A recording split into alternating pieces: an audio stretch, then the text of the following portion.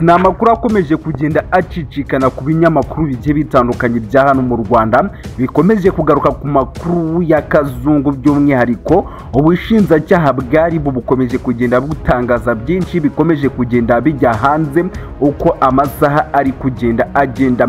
Amakuru rero dukomeje gukesha ikinyamakuru umuseke amakuru dukomeje gukesha kigali today akomeje kugenda agaruka kuri kazungu denis w'imyaka mirongo itatu n'ine y'amavuko wo mu mudugudu wa gashikiri akagari ka busanza umurenge wa kanombe mu karere ka kicukiro watawe muri yombi na ribu ku itariki eshanu nzeri ibihumbi bibiri na makumyabiri na gatatu atangira gukekwaho iperereza ku mirambo yaba yari mu cyobo cy'aho yari acumbitse cyangwa se yari atuye. Amakuru rero akomeje kugenda atangaza byinshi ni byinshi bikomeje kugenda bivugwa kuri uyu mugabo kazungu w'imyaka mirongo itatu n'ine y'amavuko ndetse kandi iperereza rikomeje kugenda rijya hanze bakomeje kugenda bakorera autopsy cyangwa se ibimenyetso bikomeje kugenda bigaragara kuri bimwe mu mirambo yabonetse aho kazungu yari atuye ndetse kandi ibi bikomeje kugenda bigarukwaho n'itangazamakuru rigiye ritandukanye. Ni byinshi rero mugiye kumva iperereza ribu yashyize hanze ni byinshi mugiye kumenya. Mwibutsa kureba munsi y'iyo videwo nimba utari wakora subscribe rwose ukareba munsi y'iyo videwo ku ijambo ryandikishije ibara ry'umutuku ryandikishije subscribe ugakora subscribe bityo ukajya ubana natwe no mu bindi biganiro bigiye bitandukanye.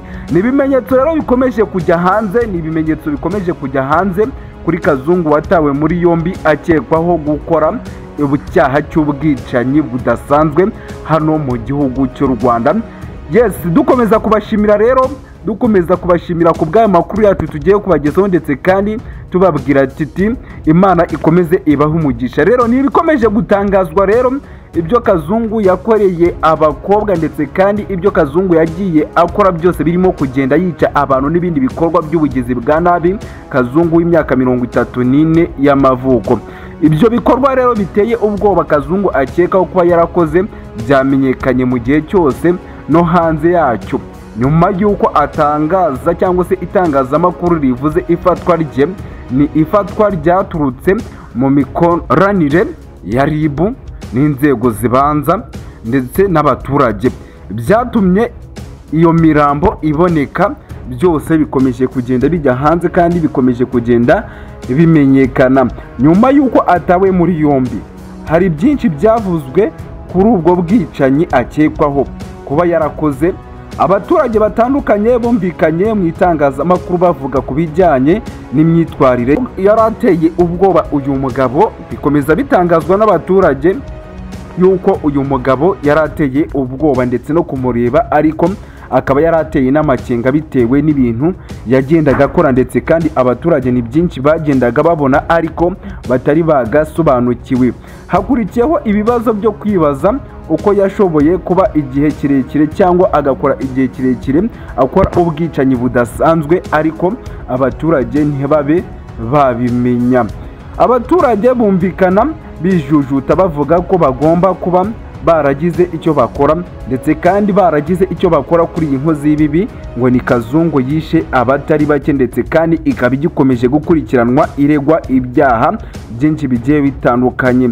Bakarokora ubuzima bw'abantu bishwe n'uwo ngo ni kazungu. Ni abaturage rero bakomeza kubabazwa n'ibi ndetse kandi bakavugwa yuko baba barafatiranye hakiri kare barangiza bakarokora ubuzima bwa benshi bwishwe cyangwa se abantu bishwe n'uyu mugabo ngo ni kazungu w'imyaka mirongo itatu n'ine y'amavuko. Yes abaturanye rero babwiye mutwara sibungagire icyo akora nyuma y'uko hari abagore batatu bashoboye kwizica kazungu ibyo byose ni ibyaha bidasanzwe kazungu yagiye akora.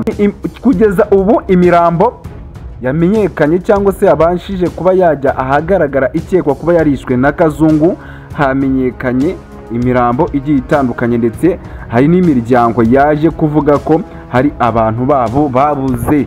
Ni byinshi bikomeje kugenda bitangazwa ariko umuvugizi wa ribu dogita cyangwa Thierry murangira yavuze ko isuzuma ry'imirambo ryakorewe muri laboratwari y'ibimenyetso byabonetse ibimenyetso byakorewe muri laboratwari byabonetse ndetse kandi hari amazina y'abanyakwigendera bishobora kuba yagiye hanze ndetse kandi ari byo tugiye kugarukaho.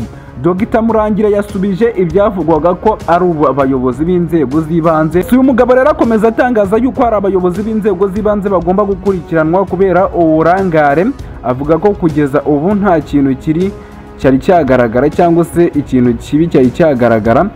Uburangare bw'abayobozi b'inzego z'ibanze cyangwa nk'uko bikomeje kugenda bitangazwa ni umugabo kandi ukomeza agaruka kuri byinshi ndetse kandi akomeza agaruka ku bwicanyi bwakozwe na kazungu ndetse kandi akomeza avuga yuko hari amakuru atari ukuri.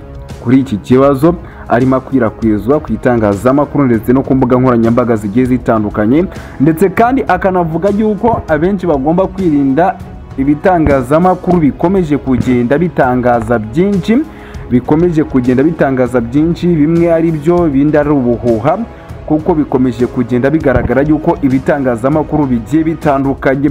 Bikomeje kugenda bitangaza byinshi harimo iby'ukuri ndetse kandi n'ubihuha hari amazina y'umwe mu bishwe yamenyekanye yavuzwe ko imbuga nkoranyambaga nyinshi zikomeje kugenda zibitangaza umusore w'imyaka makumyabiri n'itatu bita turatsinze rike guturuka mu karere ka kayonza rwose.